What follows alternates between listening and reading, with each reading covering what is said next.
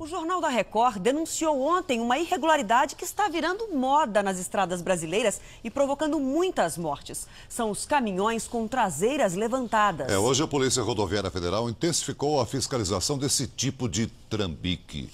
Nas maiores estradas do país, filas de caminhões apreendidos e motoristas fora da lei à espera de um jeitinho.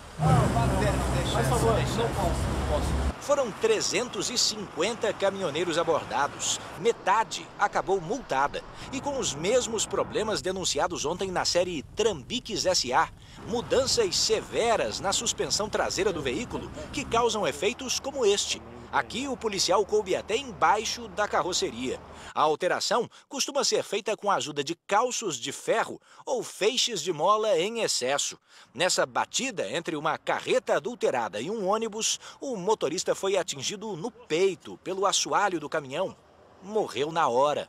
Em três estados do país, a operação da Polícia Rodoviária Federal começou às 7 horas da manhã. Bastam alguns minutos de fiscalização para você notar o exagero de alguns motoristas. Olha a altura do assoalho desse caminhão, quase que eu consigo entrar embaixo dele. E nesse caso aqui, o motorista utilizou o dobro da quantidade de molas e também dois calços de ferro para levantar a carroceria. Durante essa operação, os motoristas estão recebendo duas horas para regularizar o caminhão ainda no local, senão ele vai para o pátio. Rapaz, tem carro mais alto.